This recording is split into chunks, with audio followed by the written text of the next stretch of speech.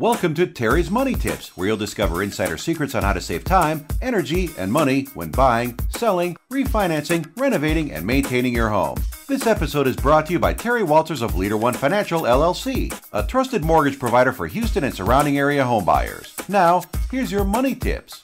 Okay, today we're going to talk about three important steps to take before going home shopping. Buying your first home isn't as simple as visiting a few realtor open houses. What you do before you start shopping can help you ensure you make a decision you can comfortably live with for years. Here are three essential steps to take before home shopping. Number one, start building a better down payment. With today's prices, down payments are climbing. Sure, you can reduce the down payment by using mortgage insurance or a low down payment mortgage, but they add extra cost. In the long run, the higher your down payment, the less total interest you'll pay. So start saving today. Number two, start raising your credit score. Your credit score determines whether you'll get a mortgage and what rate you'll pay. The higher your score, the lower your rate.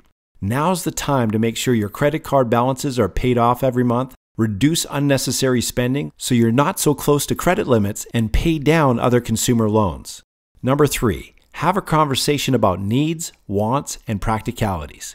Sit down with your partner or significant other and start figuring out what you really need. What can you do without? And what you're willing to spend decades paying for. Visit some open houses to see what's out there and how much it costs. Start setting firm guidelines and budgets. As your local mortgage professionals, we can provide no cost assistance with these three steps and help you get pre approved so you know how much money you have access to when you start shopping.